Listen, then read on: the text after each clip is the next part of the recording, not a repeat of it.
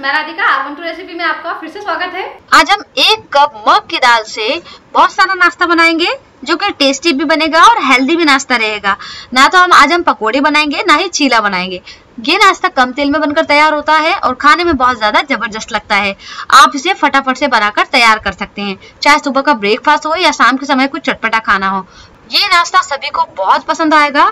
तो चलिए देरी न करते हुए मज़ेदार से इस नाश्ते को हम बनाना शुरू करते हैं।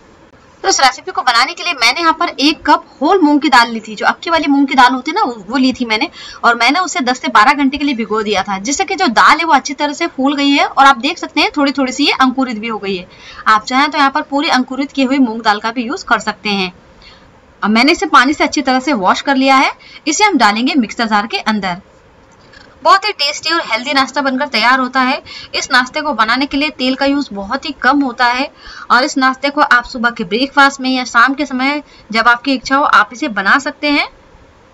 अब इस नाश्ते को थोड़ा स्पाइसी बनाने के लिए इसमें हम ऐड करेंगे हरी मिर्च। तो मैंने यहाँ पर एक बड़ी वाली हरी मिर्च ली है, जिसे मैंने रफली इस तरह से कट कर लिया है। ये मिर्ची ज़्यादा तीखी नहीं होती है लेकिन इससे टेस्ट बहुत बढ़िया आता है। आप यदि तीखी वाली हरी मिर्च का यूज़ कर रहे हैं, जो ज़्यादा स्पाइसी होती है तो उसकी क्वांटिटी आप आपके टेस्ट के अकॉर्डिंग ऐड कर सकते हैं। अब इसमें मैं थोड़े से फ्लेवर के लिए डाल रही हूँ लहसुन। तो मैंने यहाँ पर चार लहसुन की कलियाँ ली है। इससे फ्लेवर बहुत ही बढ़िया आता है, लेकिन यदि आप नहीं खाते हैं लहसुन तो स्किप कर सकते हैं।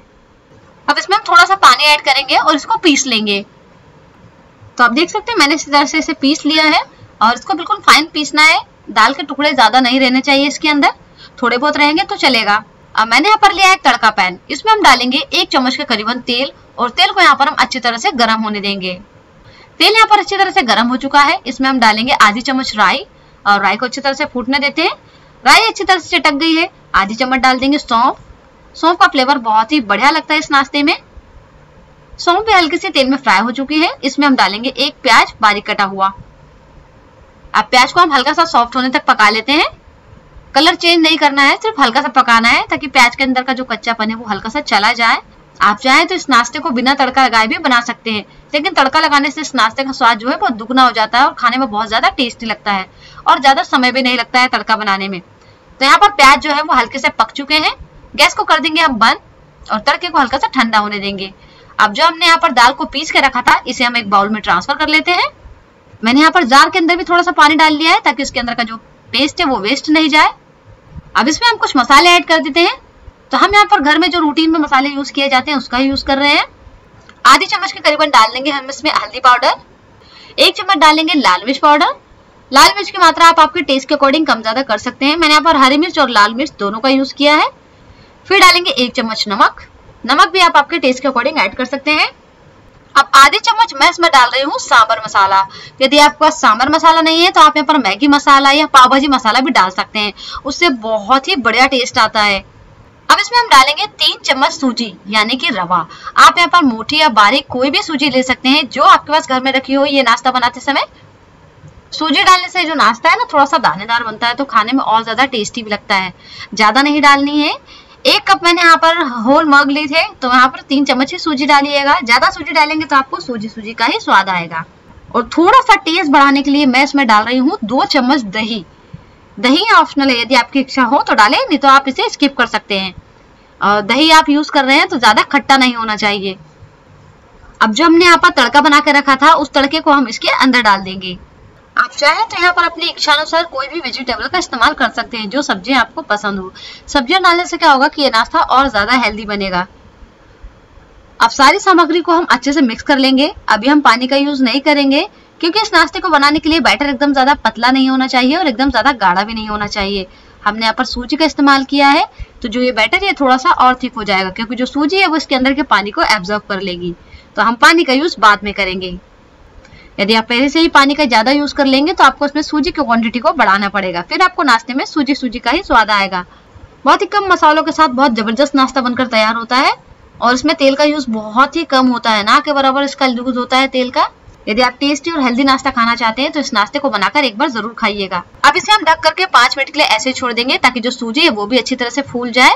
तो यहाँ पर पाँच मिनट कंप्लीट हो चुके हैं, बैटर ने भी अच्छी तरह से रेस्ट कर लिया है। और जो बैटर है थोड़ा सा थिक हो गया है, आप देख सकते हैं। अब इस नाश्ते को थोड़ा सा नॉफ्ट और नरम बनाने के लिए इसमें हम डालेंगे एक तिहाई चम्मच खाने का सोडा, यानी कि बेकिंग सोडा। आप चाहे तो यहाँ पर इनो का यूज़ भी कर सकते हैं। अब इसमें हम डाल देते हैं थोड़ा सा पानी, ताकि जो ये सोडा ये भी अच्छी तरह से एक्टिवेट हो सके, और जो बैटर की कंसिस्टेंसी है, उसे भी हम बराबर कर सकें। अच्छे से पूरे खाने के सोडे को हम बैटर के अंदर मिक्स कर देंगे। तो यहाँ पर सभी चीज़ें अच्छे से मिक्स हो चुकी है। अब मैं इसमें डाल रही हूँ एक चम्मच सफ़ेद तिल। तिल डालने से भी इसका टेस्ट जो है, वो बहुत ही बढ़िया लगता है, और जो हमारा नाश्ता है, वो भी लुक वाइज बहुत बढ़िया दिखता है अब तिल को हम पूरे बैटर के अंदर अच्छी तरह से मिक्स कर देंगे। और आप यहाँ पर बैटर की कंसिस्टेंसी भी देख सकते हैं। बिल्कुल परफेक्ट कंसिस्टेंसी है। इसी तरह का आपको यहाँ पर बैटर रखना है।